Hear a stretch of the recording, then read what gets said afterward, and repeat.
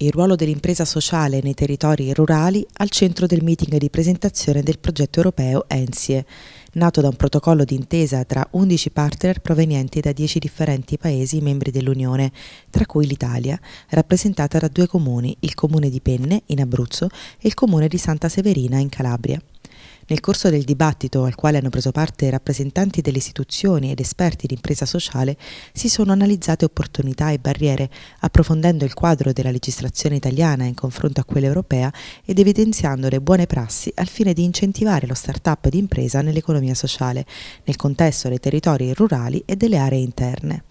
Presente all'incontro anche i rappresentanti di quattro paesi europei partner del progetto, Slovacchia, Serbia, Croazia e Portogallo. Il progetto europeo ENSI è nato da un protocollo d'intesa tra 11 partner appartenenti a 10 differenti paesi dell'Unione Europea ed è un progetto che concerne principalmente lo start-up e lo sviluppo dell'impresa sociale all'interno delle aree rurali e dei territori rurali. Questo progetto ha voluto eh, mettere in evidenza quella che è la risorsa del nostro territorio, quindi la ruralità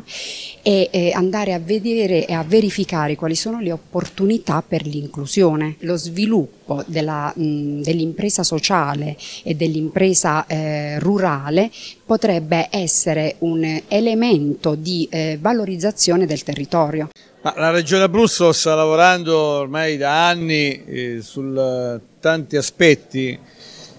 sull'Europa sull e le regioni hanno una, una, forza, eh, una forte incidenza sulle scelte nelle fasi normativa ma anche e soprattutto questa mattina abbiamo sentito su quello che sono poi i risvolti in termini economici nei bandi e nei finanziamenti europei.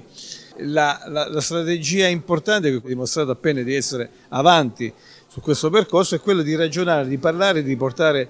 progetti insieme che vanno ormai l'unica via e quella l'unica dove si può attingere sono quelli dei fondi europei.